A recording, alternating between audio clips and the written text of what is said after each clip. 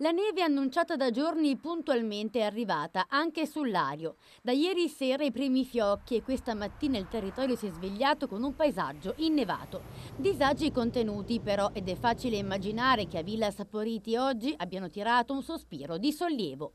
Nonostante il comunicato diffuso martedì dalla provincia di Como sull'impossibilità di garantire i servizi di viabilità invernale a causa delle difficoltà economiche dell'ente, infatti la salatura delle strade è stata garantita partita.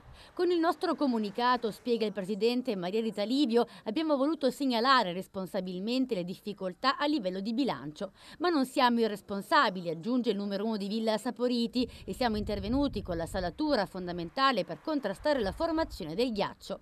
Diciamo che, continua Livio, se non nevicasse più o se le nevicate successive fossero come quella di stanotte, non avremmo problemi, in caso contrario invece avremmo grandi difficoltà. Un intervento di salatura sulle strade provinciali in caso di perturbazioni di breve durata costa 20.000 euro. Intervento che la provincia di Como può sostenere oggi solo grazie alle risorse accantonate nel 2014, visto che i fondi per il 2015 non ci sono a causa dei tagli imposti dalla manovra finanziaria. In pratica, se dovessero verificarsi altre nevicate come quella di stanotte, Villa Saporiti avrebbe le risorse per altre 4 o 5 uscite al massimo, ma se la perturbazione fosse di maggiore entità e richiedesse più ore di lavoro, il costo salirebbe e per l'ente sarebbe difficile sostenere la spesa. In provincia, insomma, si naviga a vista, o meglio si viaggia con prudenza. Gli esperti prevedono altre deboli nevicate per la prossima settimana e in via Borgovico tutti sperano che siano gli ultimi fiocchi.